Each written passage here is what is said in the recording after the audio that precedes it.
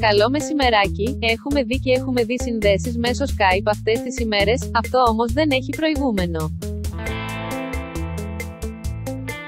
Η ηθοποιός Ντόρα Μακρυγιάννη, η οποία πρωταγωνιστεί στη δημοφιλή σειρά του Αντένα, γυναίκα χωρίς όνομα, συνδέθηκε μέσω Skype, το μεσημέρι της Δευτέρας, 11 Πέμπτα, με την εκπομπή του Νίκου Μουτσινά στο Skype. Συνέβη όμως κάτι που κανείς από τους δύο δεν το περίμενε, με τον παρουσιαστή να μένει άφωνος. Την ώρα λοιπόν που η Ντόρα Μακρυγιάννη μιλούσε για την επιστροφή στα τηλεοπτικά πλατό, μετά την περίοδο της καραντίνας, η κάμερα του υπολογιστή της αναποδογύρισε με αποτέλεσμα η εικόνα να χαθεί. Εντάξει, είσαι η αγαπημένη μου καλεσμένη, σε ευχαριστώ, έγινε, είπε με χιούμορ ο Νίκος Μουτσινάς μόλις η κάμερα της καλεσμένης του Ντόρας Μακρυγιάννη αναποδογύρισε.